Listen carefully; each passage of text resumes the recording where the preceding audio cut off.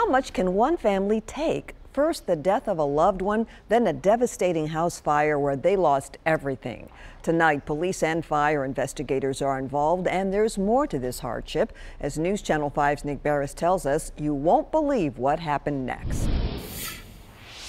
Can we all agree there are bad days and then there are really, really bad weeks? And unfortunately, that's something the Bratcher family in Murfreesboro knows about all too well. Yeah, it's a good day to walk. There's never a good time for a house fire, but here the timing was especially awful coming as the Bratcher family was mourning the death of a beloved grandfather.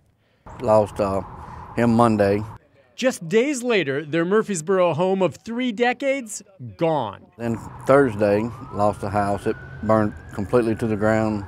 The family went to a nearby hotel. Friends and family rallied, donating what they needed. Everything that we have on, including the baby, is all donated clothes. The family stored the donated items they badly needed in their truck.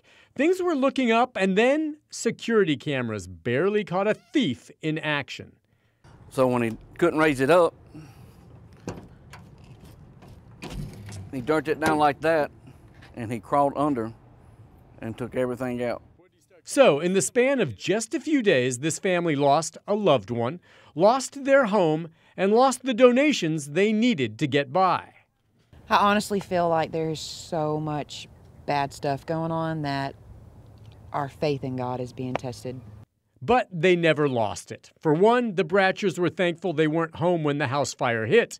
They were heartbroken they lost their pet cat, but when they returned to sift through the ashes, look who was leading their way out. Somehow, Princess the cat was waiting. She was the only one home that night. Mm-hmm.